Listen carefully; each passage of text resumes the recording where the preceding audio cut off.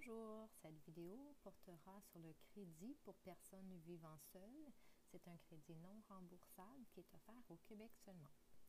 Donc, si vous voulez de l'information sur ce crédit, je vous conseille d'aller voir le site de la chaire en fiscalité et en finances publiques. Donc, c'est un très bon site qui explique le crédit, la façon de le calculer et les impacts monétaires sur le gouvernement pour revenir au crédit, en gros, c'est un montant, un crédit qu'une personne peut recevoir si elle vit seule ou elle vit seule avec ses enfants de moins de 18 ans ou avec ses enfants s'ils sont moins de 18 ans et plus de 18 ans et aux études à temps plein. Euh, si vous vivez avec vos parents, des colocs, un, un conjoint ou dans une chambre avec pension, vous n'avez pas le droit à ce crédit-là. Pour faire l'exemple, ce crédit, euh, le calcul de ce crédit euh, est de le montant du crédit est de 1750 pour toute personne qui gagne un revenu net de moins de 34 000 Donc, quand on gagne moins de 34 000, on a droit au crédit de 1750 Ensuite, plus notre revenu augmente, plus euh, le montant du crédit auquel on a droit diminue, jusqu'à ce qu'on arrive à un, un, revenu net de 43 943. Le crédit est égal à zéro. Entre les deux, le 34 000 et le 43 000, le crédit diminue de 18,75% du revenu qui est plus gros que 34 000. Donc, on va le voir dans, dans notre exemple, la façon de le calculer. Dans notre exemple, on va prendre le cas 1, qui est une personne qui a un revenu d'emploi, euh, qui habite seule. Euh, son revenu d'emploi est de 40 000 euh, on a rentré l'information euh, pour l'emploi de la personne dans le logiciel Profile. C'est déjà fait. On a rentré l'information du T4 et le relevé 1. Avec cette information-là, ça nous a donné le revenu net de la personne. Donc, si on va voir dans le TP1, parce que c'est un crédit québécois, donc le TP1, on va voir que le revenu net, excusez-moi, de la personne est de 38 775,25. Donc, on va avoir besoin de ce montant-là pour calculer le crédit. Donc, on va aller ici, calculer le crédit. Donc, on prend le revenu net 38 775.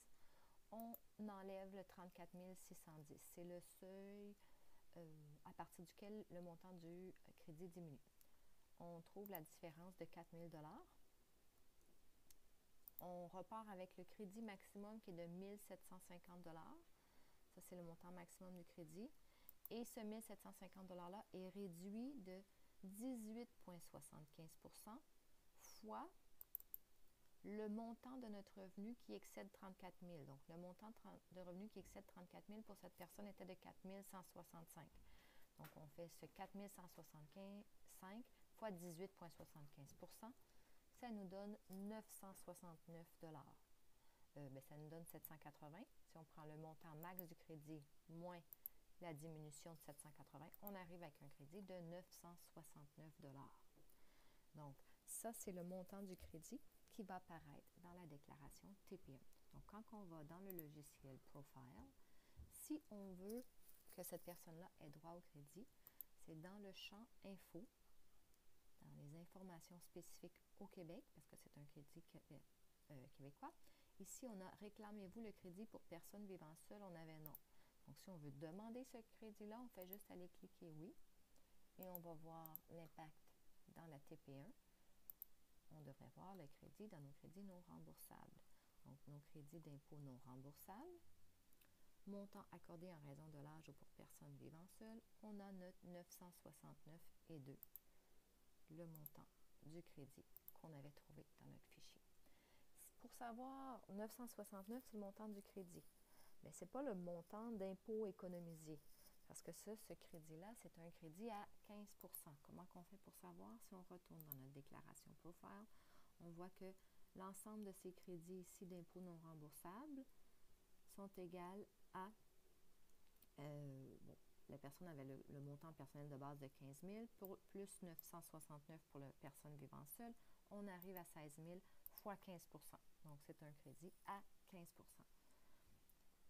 Pour calculer l'économie d'impôt, on fait le montant du crédit fois 15% Ça veut dire l'économie d'impôt directement que la personne va payer en moins euh, si elle a le droit à un remboursement sur sa déclaration. Si on veut valider cela dans la déclaration d'impôt, on va aller voir dans Profile combien d'impôts la personne paye?